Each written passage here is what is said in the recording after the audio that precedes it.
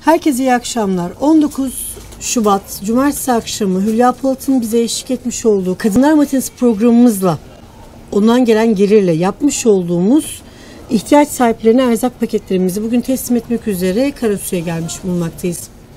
Teşekkür ederiz. Peki e, yaklaşık kaç koli hazırladık şu anda? Ee, şu an 20 koli hazırladık. Şimdilik sadece devamlı gelecek inşallah. Peki şu an, efendim bu e, koliler Karasu'nun hangi noktalarına e, dağıtmayı planlıyorsunuz e, belir, mesela? belirlediğimiz aileler var. Yani çok isimlerini vermek istemiyoruz Evet. ama belirlediğimiz ailelere, önceden belirlediğimiz ailelere vereceğiz. Peki efendim bundan sonraki süreçlerde e, bu tarz organizasyonlarınız devam edecek mi sosyal sorumluluk adına? İnşallah.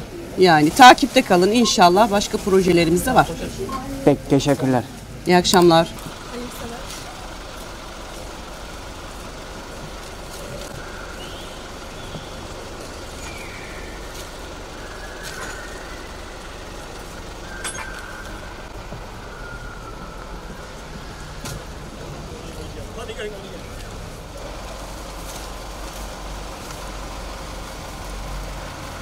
Dörtlü biri falan yani.